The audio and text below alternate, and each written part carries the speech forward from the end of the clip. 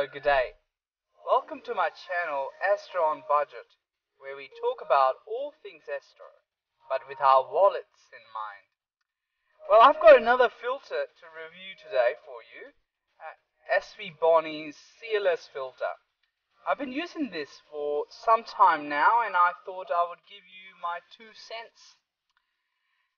Now, what does this filter do? Well, CLS means City Light Suppression. If you live in the city, the chances are that it's pretty hard to do astrophotography because of the light pollution. Now, either you can go to a dark location or use CLS filters like this to suppress light pollution.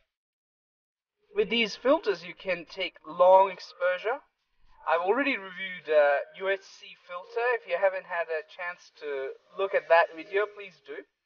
SVBony's uh, UHC and CLS filters largely do the same thing, uh, but I find that uh, CLS filter is better if I want uh, to photograph a, a gal- galaxy, for example, or take a wide shot of uh, the Milky Way.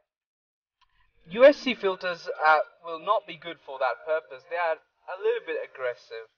Uh, well, my view is that this CLS filter does uh, an excellent job to purge light pollution without cutting details from deep sky objects.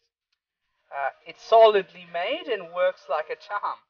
Uh, and uh, this is available for about 72 uh, Australian dollars. Uh, for this quality and price, I think it's a steal. Other companies charge way more for similar products. Some people have noted that this produces soft pictures but uh, that hasn't been true for me.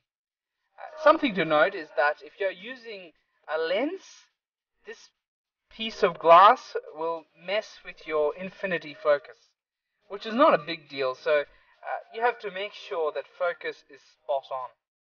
Also, make sure that uh, uh, you have set auto balance to custom because colors will change once this is on but with uh, custom white balance you should be fine. Overall, this is a good value and worth your consideration.